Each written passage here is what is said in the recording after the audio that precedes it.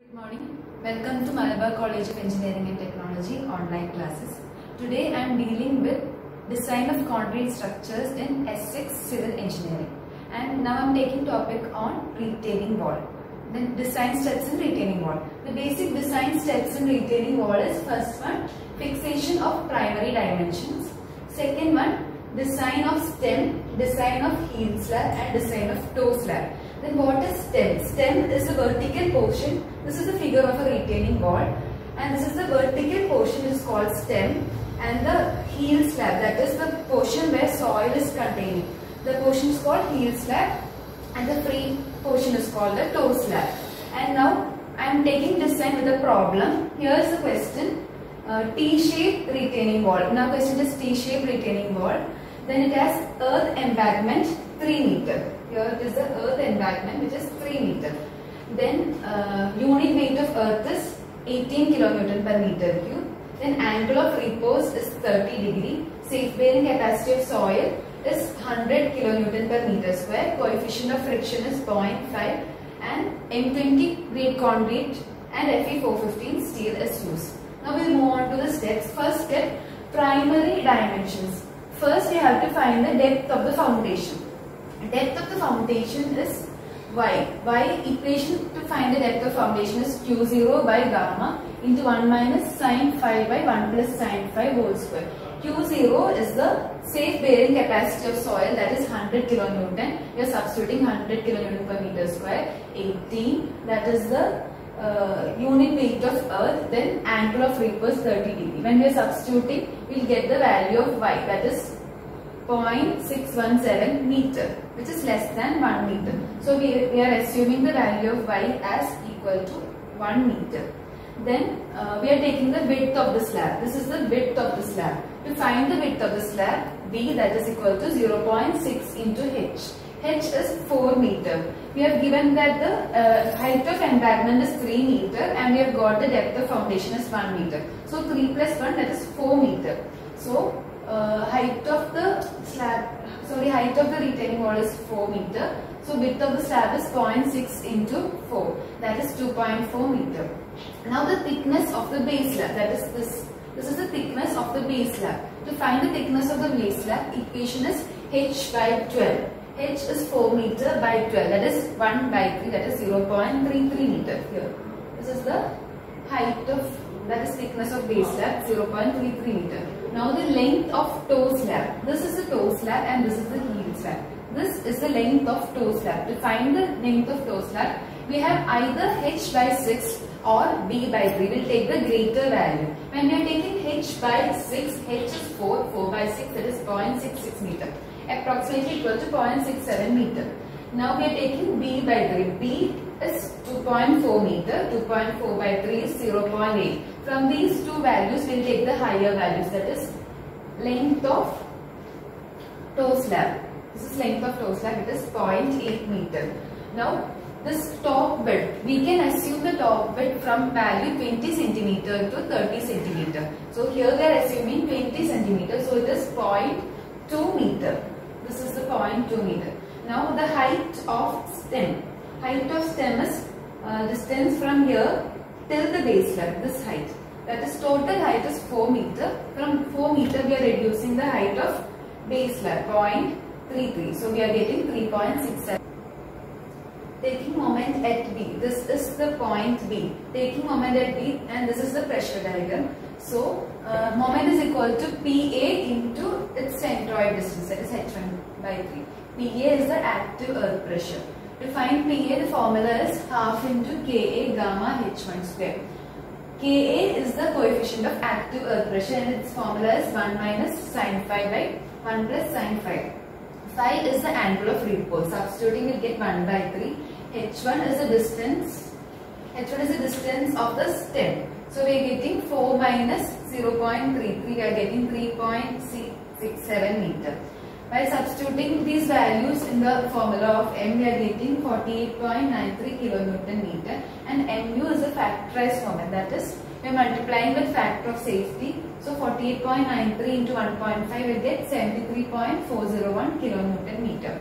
After finding the moment, uh, we will have to find out the uh, effective depth of the retaining wall. So for cantilever projection un re under reinforced section, moment is equal to 0.18138 FCK BD square. This is from IS code IS 456. From this equation we get D. D is equal to mu by 0.138 FCKB. B is we are taking for 1 meter width. So when 1 meter width, so it is 1000 mm and FCK is 20 and MU's value is 73.4. While substituting it, we'll get the value of D, effective depth. That is 163.1 meter. In this we are assuming 60 mm uh, clear cover and diameter of bar is 12 mm. So overall depth is 163.1 plus 60 plus 12 by 2 that is 229.1. We are rounding it off to 300 meter, 300 mm that is 0.3 meter. Now we have drawn the corrected image of the retaining wall.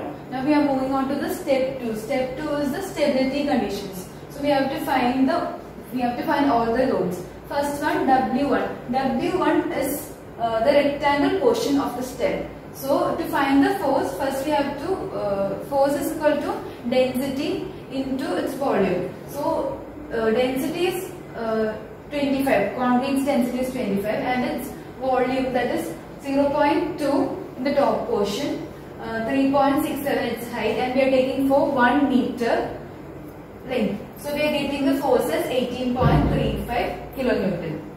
Then lever arm distance. Lever arm means it's the perpendicular distance to find the moment. So uh, this is a rectangle portion. So the lever arm distance is from the center of this rectangle portion till the edge of the toe. So here it is 0.8 plus here it is 0.2. 0.8 plus 0.2 by 2 that is the lever arm distance for the first portion W1 portion. Next W2. W2 we are taking in the triangle portion left in the stem portion. Uh, for the triangle portion the area is half into 0.1 into 3.67 and we are taking for 1 meter distance and its density is 25. So we have got force is 4.59 kilonewton and its lever arm distance is 0.8 plus 0.2 and in the triangle portion centroid distance is uh, h by 3. This is 0.1. So 0.1 by 3. This is 0.8 plus 0.2 plus 0.1 by 3. Next W3 in the base portion. This is a rectangle portion and its area is 2.4 into 0.3. We are taking for 1 meter and its density is 25 meter. So we are getting 19.8 kilonewton force and lever arm distance is the centroid distance that is 2.4 by 2. Next is W4. W4 we are taking as the whole portion where the soil is acting. Its uh, its dimensions are 1.4 meter into 3.67 meter and uh, we are taking for 1 meter that is 1 and the density of soil is 18. So we are taking 18. So the force is 92.48 kilonewton and its lever arm distance is 0.8 plus 0.2 plus 1.4 by 2. Then for finding moment force into lever arm distance, we are getting the moment of the whole thing and we are adding the total force and the moment. Next uh, we are finding out, here we have got the whole force moment. Okay. M naught is equal to PA into H by 3 that is the portion where soil is acting. PA is equal to uh, 1 by 6 okay PA is equal to 1 by 2 Ka into gamma into h square. So total is 1 by 6 Ka gamma h cube. We have found out gamma and uh, Ka. So we are substituting the values and we have got m naught as 63.36 kilonewton. And to find the factor of safety against overturning, the equation is mr by m naught not less than or equal to 2. So when we are finding mr by m naught, we have got the value 3.19 that is not less than or equal to 2. So it is safe against overturn. Now we have to find out whether it is safe against sliding. So the equation is mu into sigma w by pa which must be not less than 1.5. Here we have got the value by substituting 1.422 which does not uh, satisfy the equation. So it is not safe against sliding. It is safe against overturning but not safe against uh, sliding. So we are providing a shear key. Now uh, step 3 that is design of stem portion. We have got the moment as 73.395 kilonewton meter and to find the moment we have got equation as 0.87 Fy AST D 1 minus AST Fy by BD FCK. We have this in IS 456. By substituting all the values, uh, value of D. To find the value of D we have got overall depth as 300 mm from this we are minusing the clear cover and the diameter, half diameter of the bar. So we are getting 234 mm. Substituting the value of B as 1 meter while substituting Fy is 415 and FCK is 20. So while substituting all these values we have got AST as uh, 948.48 mm square and the diameter of bar we are assuming the uh, 12 mm bar. So the area of bar is 113.097 meter square. Then to find the spacing of the main bar, uh, equation is 1000 A5 by AST. While substituting all these values, we are getting 119.24 that is 120 mm. Then uh, we have provided reinforcement of 12 mm bar at 120 mm center to center spacing.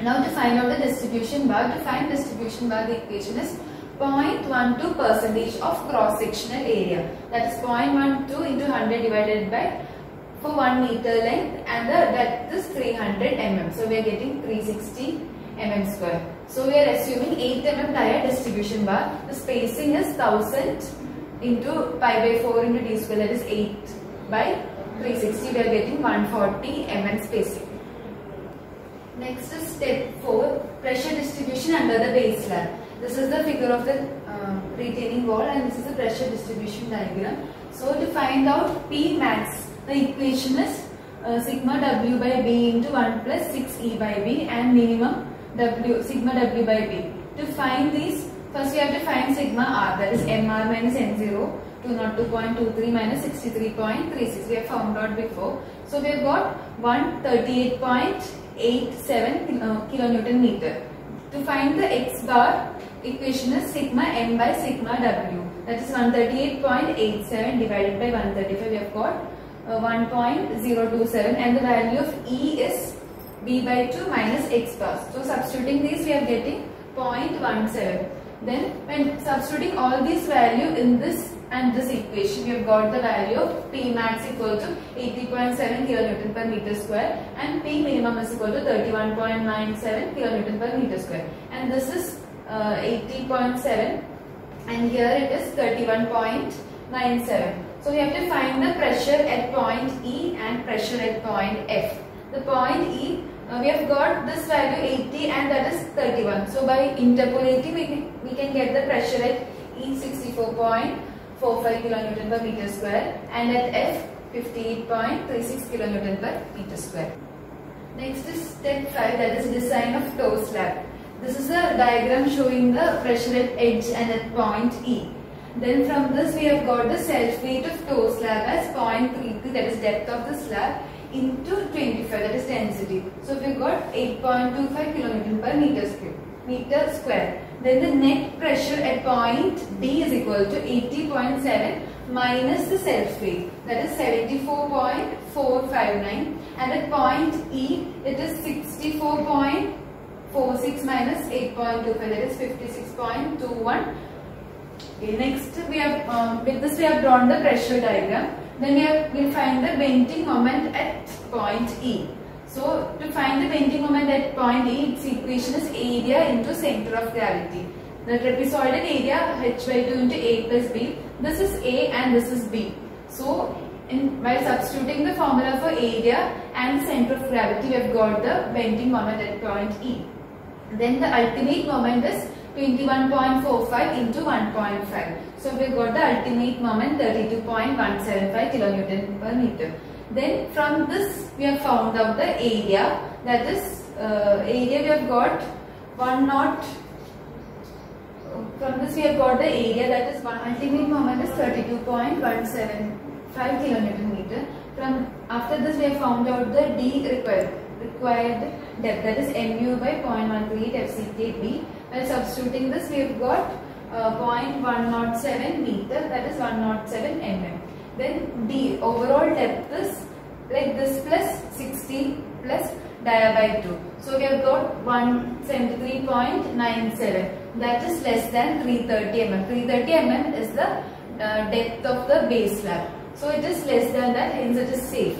Now we are finding, finding out the e, uh, AST and from that we are finding out the spacing. Spacing equation is 1000 AST by A5 by AST. We have got 325.92 mm spacing. We have reduced the spacing and provided the 300 mm spacing. So for main re reinforcement we have provided 12 mm dia bar at 300 mm spacing. Then for the distribution bars its equation is 0.12 percentage of BD and the value is 396 mm and and to find the spacing uh, 1085 by AST and we have got 120 mm. So distribution bars we provided at 8 mm dia bars at uh, 120 mm center to center spacing. Next is step 6 design of heel slab. We have got the pressure values then self weight of toe slab is uh, 0.33 to 25. Then uh, in heel slab we have got the earth on above the heel. So we got the heel uh, soil pressure also. So for downward soil pressure that is 3.67 that is the height of the soil and 18. 18 is the pressure of the soil. So we have got the value as 66.06 kN per meter square. So the net pressure at point F is uh, 74, 74 minus 58.37 that is 15 and at C it is 42. Here this is the pressure diagram. Then to find the bending moment let's see that is the area of trapezoid and its center of gravity. So while substituting all these values we will get 28.34 kilonewton per kilonewton meter. Then ultimate moment is this into 1.5 we have got 42.51 kilonewton meter. Then uh, the depth required is mu by 0.138 fct into b. b is 1 meter. While substituting all these values, we have got the depth of depth required is 124.11 millimeter. Then the overall depth is 190.1. Hence it is safe. Right? Uh, it is uh, 330 mm the depth of toe slab and heel slab. So this value is less than that. Hence it is safe. From this we have found out the area as 462.16 mm square. From this we find spacing. We have got 240 mm spacing. So we have provided uh, main bars with 240 mm spacing and the distribution bars is 0.12 percentage of BD that is 396 and its spacing is 120 mm. Now next is step 7 that is providing a shear key. We are providing a shear key of 300 mm width and 300 mm depth. We are providing shear key because it is not safe against sliding. Now the last step is detailing. This is the figure showing the uh, retaining wall. This is the main reinforcement of the stem that is 8 mm, that is 12 mm dia at 120 mm spacing and the distribution are 8 mm dia at 140 mm spacing. And now in the toe slab, uh, main main main reinforcement is 12 mm dia at 300 mm spacing and the distribution bars are 8 mm dia at 120 mm center to center spacing and now in the heel slab we are providing main reinforcement as 12 mm at 240 mm spacing and the distribution bars is 8 mm dia at 120 mm center to center spacing. With this I am concluding. Thank you.